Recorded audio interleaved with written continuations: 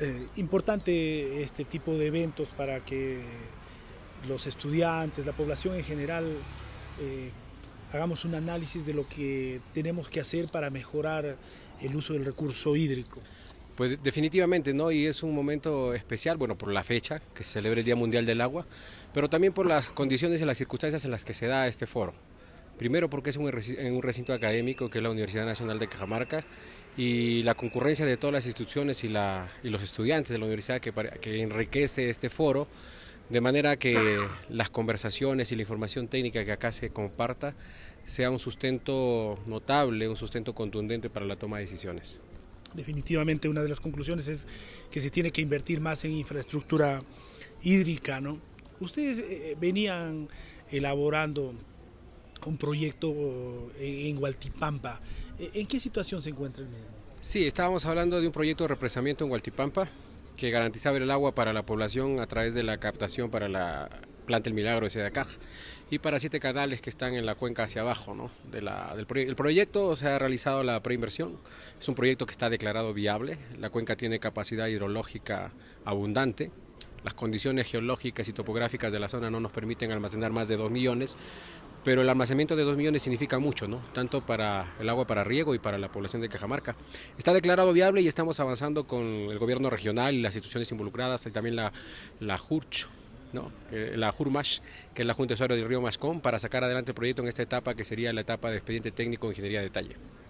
Es decir, el perfil ya está hecho, están elaborando el expediente.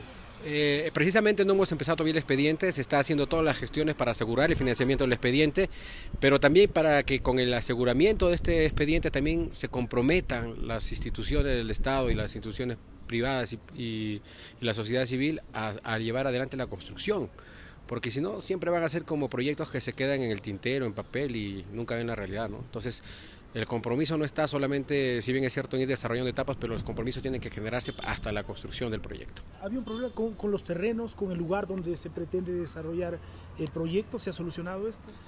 Todos los proyectos ahora tienen este, se, asientan en un territorio, hay un área en la que se tienen que ejecutar y por supuesto tienen propietarios. ¿no?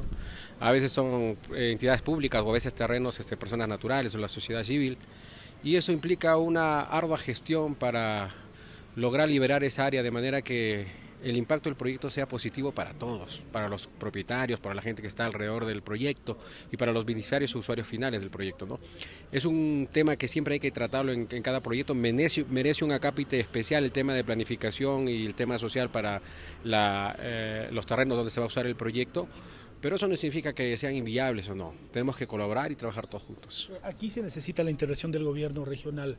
Eh, ¿Ustedes han visto las predisposición por parte de las autoridades de esta entidad? Sí, estamos trabajando en una mesa de trabajo. Está involucrada, como te dije, el gobierno regional y otras instituciones de la Autoridad del Agua, la Junta Mascón. Y la Junta Mascón ha cobrado una relevancia específicamente en este proyecto Gualtipampa porque ellos conocen muy bien el territorio eh, social y ambientalmente en el que estamos este, interviniendo para esta presa de Gualtipampa, entonces su aparte, su conocimiento ha sido también decisivo. Es decir, si queremos que los proyectos eh, de esta naturaleza o cualquier otro vean la luz, es importante la colaboración de todos. Todos somos gestores del agua y eso no podemos evadirlo. En tiempos de estiaje eh, tenemos problemas con, con la falta de agua y gente de la zona precisamente muchas veces sale y protesta eh, ellos son conscientes de que este problema de alguna manera podría solucionar en parte el tema. Sí, por supuesto ellos conocen, ¿no? Pero también hay que ser conscientes que el tema de las sequías y la abundante escasez de agua en tiempos de, sequía es un problema global. Estamos en un, en un recrudecimiento del cambio climático en esta etapa y y todos vamos a ser afectados. Lo que necesitamos es gestionar esos proyectos y, dejar de mirar, este, digamos, este, los pormenores y apuntar todos a un trabajo conjunto, ¿no? Tenemos que afrontar este desafío todos, si no, no vamos a llegar a un buen puerto.